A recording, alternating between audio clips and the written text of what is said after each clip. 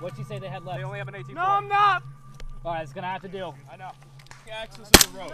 Push Peter, down, push down, Peter. push down. Hey, push to your At the left. Push to your left. Push to your left. At the tip of Simon Push Doesn't your head left. to the right. They're right there. Hey, slow down. Slow down. You're almost out of One seven, one six. I sustain a gunshot. wound. One, two, three.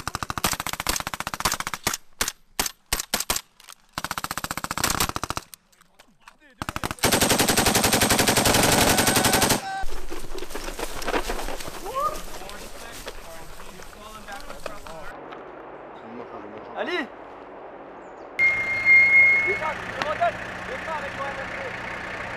Franchement pas là-bas parce que le véhicule il va nous tirer dessus là. J'arrive pas à voir ce que c'est.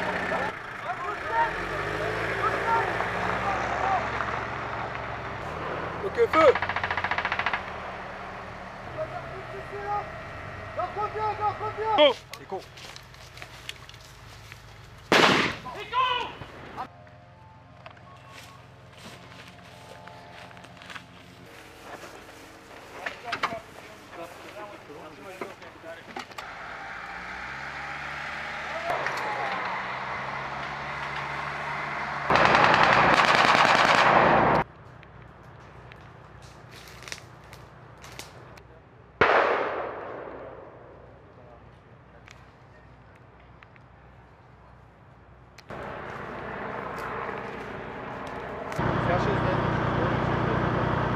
All right, Saber Junction 23 is the incorporation of 2nd Cavalry Regiment with a Polish higher command uh, that happens to be the 11th Armored Division uh, over here from Poland, and components of their uh, units underneath them uh, is what comprises the division staff.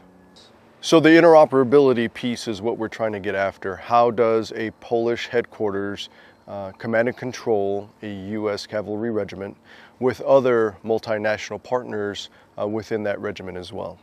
2CR is America's forward uh, recon element located in Europe. And so if anything was to um, be activated in a deterrence kind of standpoint, then we would look at 2CR to provide that recon asset along with uh, other units we rotate through Europe for uh, the Rapid Action Force.